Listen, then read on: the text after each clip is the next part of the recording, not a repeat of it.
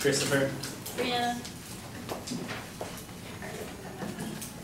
So, as affirmative side, we would like to raise the nation's legal driving age to 19 years old. Some background information, in California, the age to obtain a learner's permit is 15 and a half years old, as many of you guys know.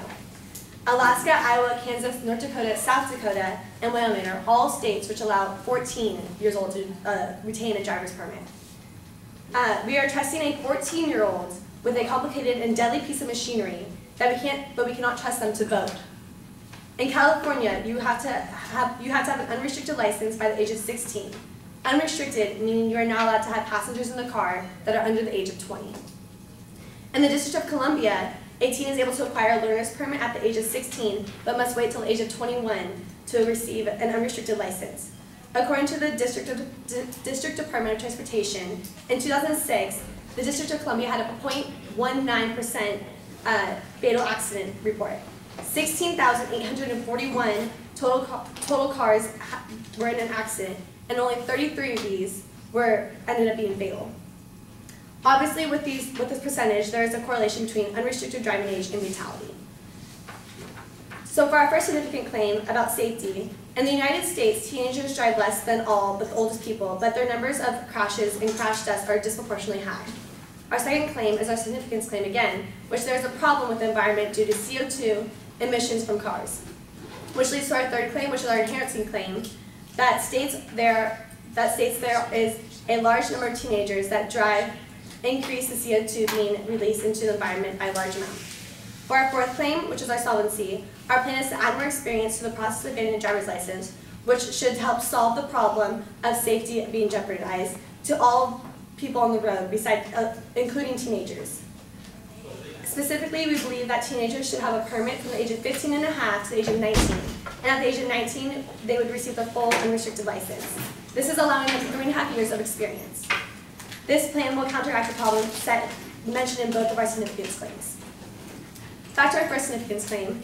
The youth between the, the ages of 16 and 19 year years old are more likely to engage in car accidents than young adults who get their license at 19.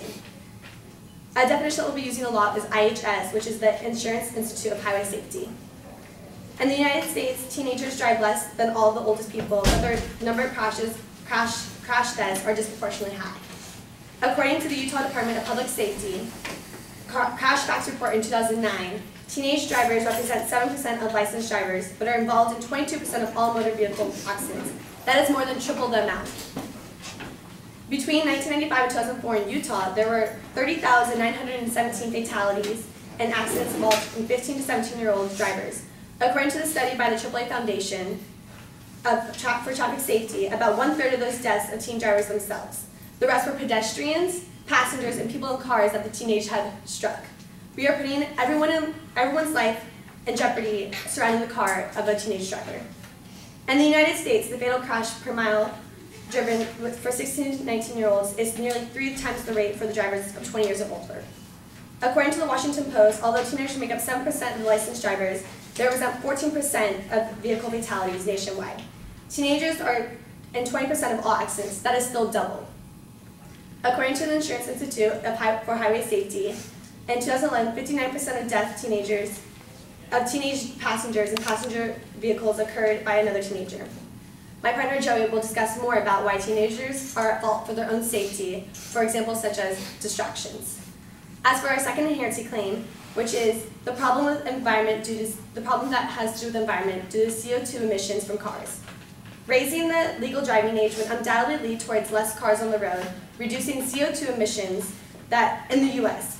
We are not specifically only arguing that cars can harm the environment, but teenagers make up a substantial amount of cars on the road. Severely restricting their licenses would help minimize the harm due to this immensely. According to National Geographic, vehicle emission can affect the environment in several ways. Cars emit greenhouse gases, such as carbon dioxide, which contribute to global warming. Some air pollutants and particulate matter from cars can be deposited in the soil and surface waters. Where they enter the food chain, these substances can affect reproductive, respiratory, immune, and neurological system of animals.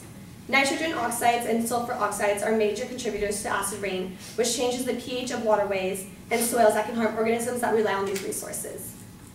As for our solvency plan, we are to um, increase the experience to, in the process of getting a driver's license, which should solve the problem that is being jeopardized to all, all on the road by teenagers without unrestricted license.